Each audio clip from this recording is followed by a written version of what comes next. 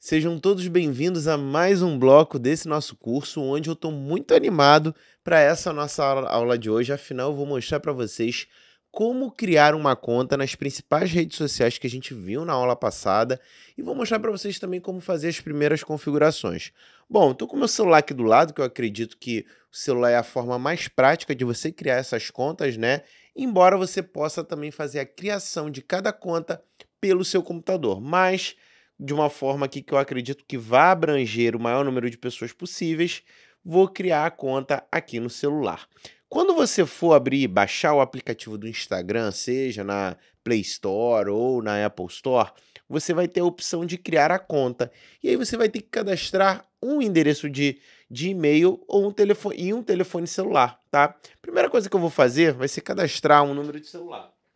Vou cadastrar aqui o telefone do meu escritório, né, que é um telefone público. Então não tem problema que vocês terem acesso também. E aí o que ele vai me dizer? Ele vai enviar um código de confirmação para esse número através de SMS e eu vou ter que confirmar. Bom, já chegou aqui, ó, zero. Já chegou aqui o código. Então vou preencher o código, avançar. E ele pergunta qual o seu nome completo. Para esse teste, eu não vou usar meu nome, vou usar advogado digital. Então, vou colocar aqui, advogado digital. Vou avançar. E ele vai pedir aqui agora para eu criar uma senha, tá, gente? Vou criar aqui uma senha qualquer.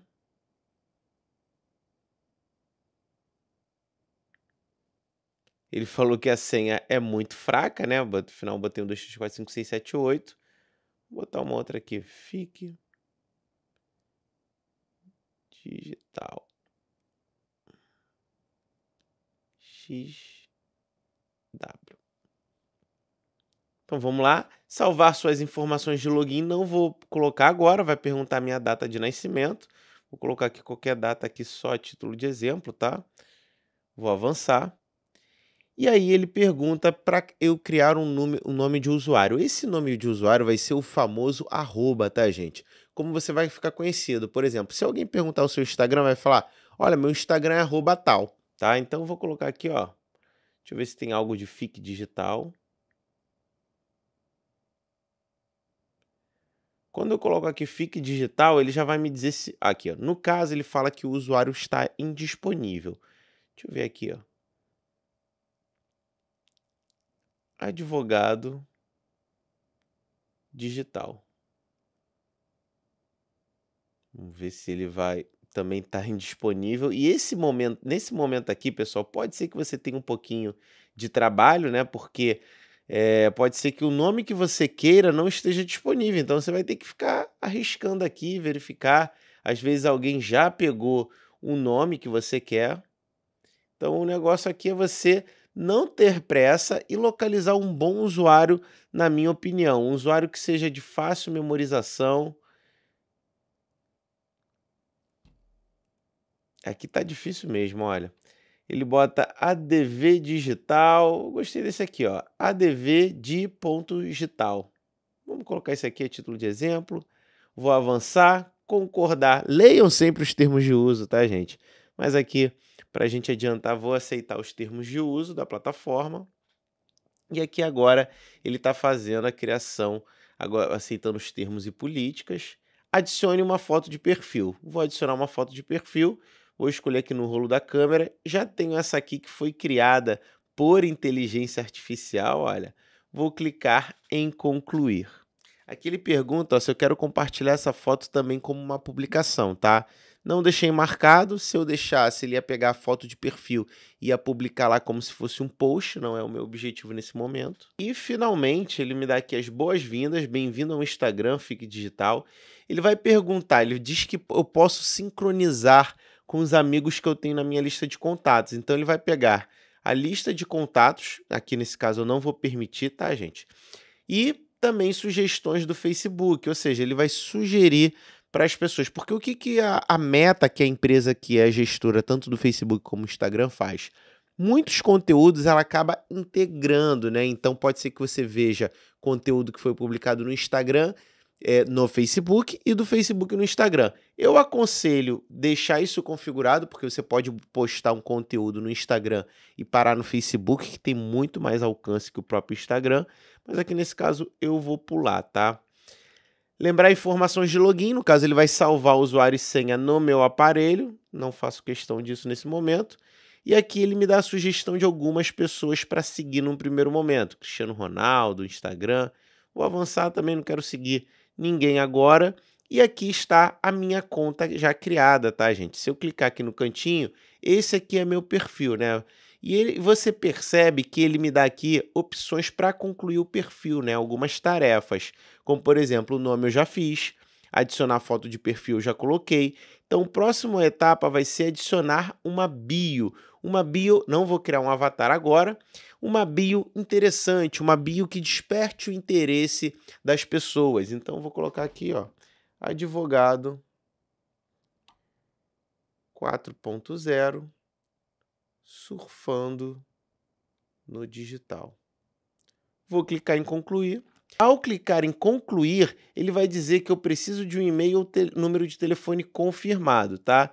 Mas eu vou clicar aqui em cancelar. Você já pode perceber que as alterações que eu fiz já aparecem aqui, como advogado 4.0 surfando no digital, o endereço do site, aqui ó, fiquedigital.com.br, o link tudo certinho. Então a gente já tem aqui a nossa primeira configuração válida né, em relação ao preenchimento do nosso perfil. Lembrando que nessa biografia eu posso colocar qualquer informação que seja, qualquer informação pertinente né, e tudo mais. Posso clicar aqui em editar e complementar também. Posso alterar isso quantas vezes eu quiser. Até esse nome de usuário aqui, pessoal, eu posso estar tá alterando.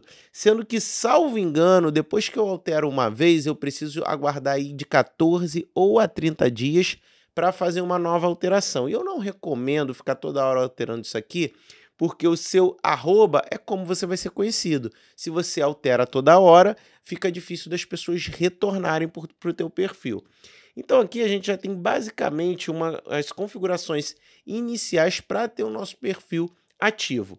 A utilização, aqui ele me dá uma sugestão também de encontrar pessoas para seguir, né? Ele vai é, colocar com base nos meus contatos, não vou fazer isso, mas seria aqui para complementar. Eu posso aqui compartilhar o meu perfil, né? Ele vai inclusive criar um QR Code, né? Se a pessoa escanear isso aqui, ela vai ter acesso direto ao meu perfil posso editar. Então, basicamente, são essas as configurações. Aqui em cima, eu vou ter um botãozinho de mais, onde eu posso publicar um reel, né, que são vídeos curtos, uma publicação que vai para o feed aqui do meu perfil, um stories. Stories são publicações que vão durar 24 horas. Então, tudo que eu publicar em stories vai durar 24 horas e não vai ficar armazenado.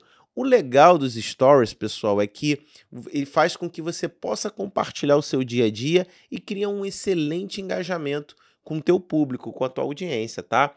Posso destacar os stories, caso eu queira que alguns stories fiquem salvo, né? Ele fique em destaque aqui na, na nossa página principal e fazer uma transmissão ao vivo também, que é excelente aí para você criar interatividade com o teu público. E aqui embaixo, pessoal, a gente tem alguns botões também como por exemplo aqui, esse aqui é o home, né? Ele vai para home page. Quem eu estiver seguindo, ao clicar aqui em home, ele vai é, mostrar o que essas pessoas estão publicando. Qualquer outra coisa é sugestão do próprio Instagram para mim. Né? Ele faz isso aqui de acordo com o algoritmo, não tem como saber ao certo por que, que ele está indicando esse tipo de conteúdo. Quando eu clico em pesquisar, eu posso pesquisar perfis, contas, qualquer coisa, e aqui já aparece uma série de sugestão de vídeos. Quando eu clico aqui, ele vai direto para uma publicação, tá? Então eu posso simplesmente, por exemplo, pegar aqui a foto do perfil, né? No caso, posso clicar aqui para aproximar um pouco mais, clico em avançar, posso selecionar um efeito aqui, ó. Vários efeitos legais, posso alterar a intensidade do efeito. Vou colocar aqui o principal. Posso marcar pessoas, escrever uma legenda, minha primeira foto minha primeira foto. Posso adicionar localização, adicionar uma música para tocar em conjunto. Posso jogar isso aqui também para o Facebook. Ao clicar aqui, ele pode configurar minha conta direto com o Facebook. E aí o que eu publicar aqui vai para lá também. Em configuração avançadas, eu posso ocultar o número de curtida dessa publicação, desativar comentários, compartilhar no Facebook, enfim, algumas outras opções. Ao clicar em compartilhar, você percebe que a nossa imagem já consta aqui agora no nosso perfil. Então, vou para cá, já tem aqui o nosso perfil com a nossa primeira foto. Se eu clicar aqui, são fotos e vídeos comigo, ou seja, se alguém marcar essa conta, vai aparecer aqui. E aí, para publicar um Stories, eu posso simplesmente clicar nesse mais aqui ou clicar arrastando aqui para a esquerda. E aqui eu posso botar, por exemplo, um texto, posso criar um boomerang, é, layout, posso botar várias fotos aqui numa, numa organização, posso colocar mãos livres, ou seja, dar o play sem, e ele vai ter um timer aqui para eu poder fazer a gravação. Posso também colocar duplo, né, onde ele vai colocar tanto a, a minha fotografia como a parte da frente aqui da câmera, tanto traseira como dianteira. E tem aqui os famosos efeitos do Instagram que eu posso também estar tá colocando. Compreende? Se eu faço aqui, olha. E aí tem alguns efeitos que são legais, pode ser interessante você estar tá utilizando, tá? E aí vai da sua criatividade, da sua interação com o público, tá, gente? Então essas são as principais configurações. Aqui nessa setinha a gente tem as mensagens diretas, né? Sempre que eu troco alguma conversa, alguma conversa, alguma ideia com alguém, com algum usuário aqui da plataforma, vai aparecer nessa setinha aqui em relação às mensagens. Bom, pessoal, espero que você tenha gostado. Isso aqui foi uma introdução na, no cadastro e nas primeiras configurações do Instagram. Continua com a gente que o próximo bloco está tão bom quanto.